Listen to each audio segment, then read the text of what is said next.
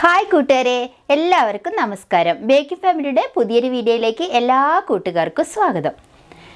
ഇന്ന് നമുക്ക് നല്ലൊരു നെയ്ച്ചോർ ഉണ്ടാക്കിയാലോ? നെയ്ച്ചോറൊക്കെ ഉണ്ടാക്കാൻ എല്ലാവർക്കും അറിയാം അല്ലേ? എന്നാലും കുറേ പേരൊക്കെ ഇപ്പോഴും പറയാറുണ്ട് നെയ്ച്ചോറ് ഉണ്ടാക്കിയിട്ട് നന്നായിട്ടില്ല എന്ന് അപ്പോൾ വളരെ പെർഫെക്റ്റ് ആയിട്ട് നല്ല രുചിയുള്ള നെയ്ച്ചോറ് എങ്ങനെയാണ് ഉണ്ടാക്കുക നോക്കാം. വീഡിയോ ഇഷ്ടപ്പെട്ടാൽ ഒന്ന് ലൈക്ക് ചെയ്യണം കേട്ടോ. നമുക്ക് പെട്ടെന്ന് വീഡിയോ കണ്ടിട്ട് വരാം.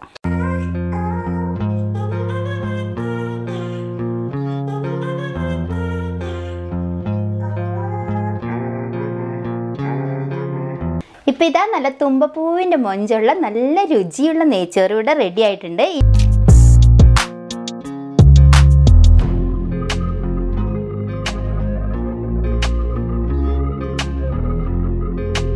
ഉണ്ടാക്കാനായിട്ട് ഞാനിപ്പം ജീരകശാലയുടെ റൈസാണ് എടുക്കുന്നത്. അപ്പം നമ്മൾ ഏത് കപ്പിലാണോ എടുക്കുന്നത് അതിൽ തന്നെ അരിയും വെള്ളവും അളന്നെടുക്കും കേട്ടോ ഇപ്പം നമ്മൾ ഈ ഒരു കപ്പിൽ ഒരു കപ്പ് നിറയെ അരി എടുത്തിട്ടുണ്ട്. ഈ അരി ഇപ്പം നമ്മൾ വെള്ളത്തിൽ കുതിർത്തി ഒന്നും വെക്കുന്നില്ല. പെട്ടെന്ന് കഴുകി പെട്ടെന്ന് ഉണ്ടാക്കുന്ന രീതിയാണ് കാണിക്കുന്നത് കേട്ടോ. അപ്പം നമ്മൾ വെള്ളം എടുക്കുമ്പം ഈ കപ്പിൽ തന്നെ രണ്ട് കപ്പ് വെള്ളം എടുക്കുക. ഒരു കപ്പ് അരിക്ക് രണ്ട് കപ്പ് വെള്ളം.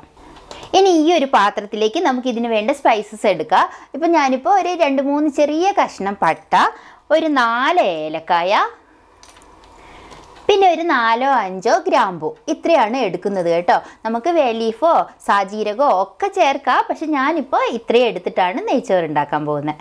നമുക്ക് നെയ്ച്ചോറ് ഏത് പാത്രത്തിലാണോ വെക്കുന്നത് ആ പാത്രം അടുപ്പിൽ വെക്കുക. ഞാൻ പറഞ്ഞതുപോലെ തന്നെ ഇതിൽ രണ്ട് കപ്പ് വെള്ളം ഒഴിച്ചു കൊടുക്കുക കേട്ടോ. വെള്ളത്തിന്റെ അളവ് ഒരിക്കലും തെറ്റരുത്. വെള്ളത്തിന്റെ അളവ് തെറ്റിപ്പോയിട്ടുണ്ടെങ്കിൽ നമ്മളുടെ ചോറ് കറക്റ്റ് വേവായിട്ട് കിട്ടില്ല. രണ്ട് കപ്പ് നിറയെ വെള്ളം ഒഴിച്ചു കൊടുക്കുന്നുണ്ട്. എന്നിട്ട് നമുക്ക് സ്റ്റൗ ഓൺ ആക്കി കൊടുക്കാം. പിന്നെ നമുക്ക് ഇതിലേക്ക് ആവശ്യത്തിന് ഉപ്പിട്ട് കൊടുക്കുക ഉപ്പിടുമ്പോൾ എപ്പോഴും കുറച്ച് മുന്നിൽ നിൽക്കുന്ന രീതിയിൽ ഉപ്പിട്ട് കൊടുക്കണം കേട്ടോ. ഇനി ഈ വെള്ളത്തിലേക്ക് ഒരു അര ടീസ്പൂൺ അളവിൽ നെയ്യ് ചേർത്ത് കൊടുക്കുന്നുണ്ട്. ഇപ്പം നെയ്യ് ചേർത്തില്ലെങ്കിലും കുഴപ്പമൊന്നുമില്ല. പക്ഷെ ചേർത്തിട്ടുണ്ടെങ്കിൽ കുറച്ച് സ്വാദ് കൂടും കേട്ടോ. ഇനി നെയ്ക്ക് പകരമായിട്ട് നമുക്ക് വെളിച്ചെണ്ണയാണെങ്കിലും ചേർത്ത് കൊടുക്കാം. വെള്ളം നന്നായിട്ട് തിളയ്ക്കാൻ തുടങ്ങുമ്പോൾ നമുക്ക് ഇതിലേക്ക് ഒരു ചെറുനാരങ്ങയുടെ നീര് ഒരു ചെറുനാരങ്ങയുടെ പകുതി ചേർത്താൽ മതി കേട്ടോ. അതും കൂടി കൂട്ടിയിട്ട് നന്നായിട്ട് ഇളക്കി കൊടുക്കുക നമ്മൾ ചെറുനാരങ്ങയുടെ നീര് ചേർത്തിട്ടുണ്ടെങ്കിൽ ചോറ് ഒന്നൊന്നായിട്ട് ഒട്ടിപ്പിടിക്കാതിരിക്കും കേട്ടോ. ഇനി ഇതിലേക്ക് ഇനി വെള്ളം ഒന്ന് നന്നായിട്ട് തിളക്കട്ടെ. ആ സമയം കൊണ്ട് നമുക്ക് പെട്ടെന്ന് തന്നെ അരി കഴുകിയിട്ട് വരാം കേട്ടോ വെള്ളം ഇതാ നന്നായിട്ട് തിളയ്ക്കുന്നുണ്ട് ഈ സമയം കൊണ്ട് നമ്മൾ അരിയൊക്കെ കഴുകി എടുത്തിട്ടുണ്ട് കേട്ടോ രണ്ട് മൂന്ന് പ്രാവശ്യം ഒന്ന് കഴുകിയിട്ടുണ്ട്. എന്നിട്ട് വെള്ളമൊക്കെ വാറ്റി വെച്ചിട്ടുള്ളതാണ്. ഇത് നമുക്ക് ഈ വെള്ളത്തിലേക്ക് ഈ അരി അങ്ങ് ഇട്ട് കൊടുക്കാം. എന്നിട്ടങ്ങ് നന്നായിട്ട് ഇളക്കി കൊടുക്കാം. എന്നിട്ട് തീ ഹൈ ഫ്ലെയിമിലാണ് ഇപ്പോൾ വെച്ചിട്ടുള്ളത്. ഇതൊക്കെ ചെയ്യുമ്പോൾ നമ്മൾ ഇവിടെ തന്നെ നിൽക്കണം കേട്ടോ. മാറിപ്പോവരുത്. വെള്ളം വെച്ചിട്ട് മാറിപ്പോയിട്ടുണ്ടെങ്കിൽ നമുക്ക് വെള്ളം അങ്ങ് വറ്റിയിട്ട് ചോറിന്റെ വേവ് കറക്റ്റ് ആവില്ല. ഇനി ഇതങ്ങ് മൂടി കൊടുക്കാം. ഇനി ഇവിടുന്ന് മാറിപ്പോയിട്ടുണ്ടെങ്കിൽ എന്താ? പെട്ടെന്ന് വെള്ളം വറ്റുമ്പോൾ നമുക്കത് കാണാൻ പറ്റില്ല. അപ്പോൾ അടിക്കൊക്കെ പിടിക്കും കേട്ടോ. അപ്പോൾ ഇതാ ഒരു രണ്ട് മിനിറ്റ് കൊണ്ട് തന്നെ ഈ വെള്ളമൊക്കെ നന്നായിട്ട് വറ്റിയിട്ടുണ്ട്. ഇനി നമുക്ക് ഈ ചോറ് അടുപ്പിൽ നിന്നങ്ങ് മാറ്റി വെക്കാം കേട്ടോ.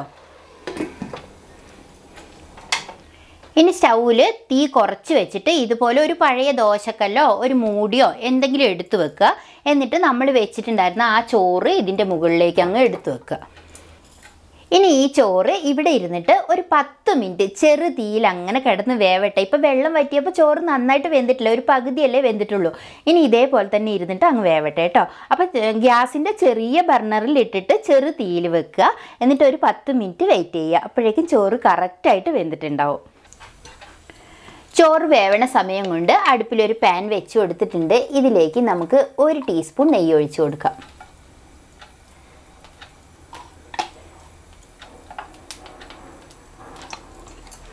നെയ്യ് ഒന്ന് ചൂടാവട്ടെ.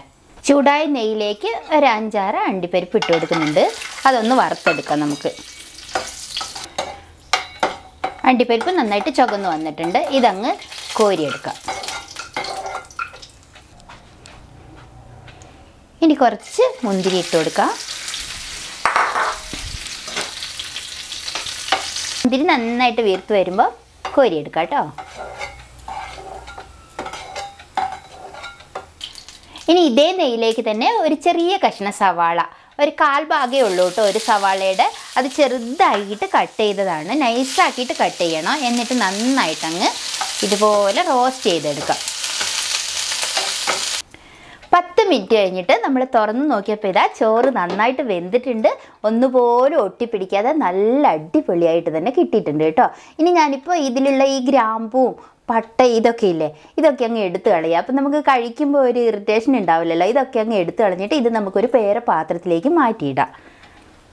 ഇപ്പം ഇതാ നല്ല തുമ്പപ്പൂവിന്റെ മൊഞ്ചുള്ള നല്ല രുചിയുള്ള നെയ്ച്ചോറ് ഇവിടെ റെഡി ആയിട്ടുണ്ട്. ഇനി ഇതിന്റെ മുകളിലേക്ക് നമുക്ക് വറുത്ത് വെച്ചിരുന്ന ആ അണ്ടിപ്പരിപ്പും മുന്തിരിയൊക്കെ അങ്ങ് ഇട്ട് കൊടുക്കുക പിന്നെ നമ്മൾ നേരത്തെ വറുത്ത് മാറ്റി വെച്ചിട്ടുണ്ടായിരുന്നില്ലേ സവാള? അതും കൂടി അങ്ങ് ഇട്ട് കൊടുക്കുക. പിന്നെ എന്താ ഒരു ടീസ്പൂൺ നെയ്യ് ഉരുക്കിയിട്ട് അതും കൂടെ അങ്ങ് ഒഴിച്ചു കൊടുക്കുക. അപ്പോൾ നെയ്യ് ഒരുപാട് വേണ്ടെങ്കിൽ ഇത്രയൊന്നും ഒഴിക്കണ്ട കേട്ടോ.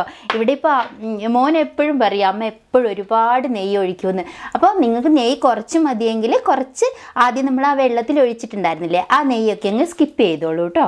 ഈ ലാസ്റ്റ് ഒഴിക്കുന്ന നെയ്യ് എന്തായാലും ഒഴിച്ചു കൊടുക്കണേ. ഇനി നമുക്ക് നല്ല ചിക്കൻ കറിയൊക്കെ ഉണ്ടാക്കിയിട്ട് ഈ നെയ്ച്ചോറ് അങ്ങ് കഴിക്കാം കേട്ടോ. അപ്പോൾ പെട്ടെന്നൊക്കെ വിരുന്നുകാരൊക്കെ ഓടി വരിക എന്ന് തോന്നുകയാണെങ്കിൽ അയ്യോ ഇനിയിപ്പോൾ എന്താ ഉണ്ടാക്കാന്ന് ഓർത്ത് ഒരിക്കലും വിഷമിക്കേണ്ട. ഇത് കണ്ടോ വളരെ സിമ്പിളായിട്ട് ഇതേപോലുള്ള നല്ല നെയ്ച്ചോറ് ഉണ്ടാക്കി കൊടുത്തോളൂ കേട്ടോ. എത്ര സിമ്പിളായിട്ടല്ലേ നല്ലൊരു നെയ്ച്ചോറ് നമ്മൾ ഉണ്ടാക്കിയത്.